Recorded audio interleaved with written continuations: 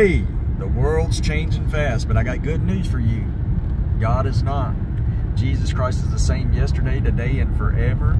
You know, there's people that's running and they're storing up and they're, well, maybe they can save just a, have them just a little bit more saved up and stored up or, you know, might be able to, if the world does go crazy, they might be able to buy them a little bit of extra time. But I got good news for you.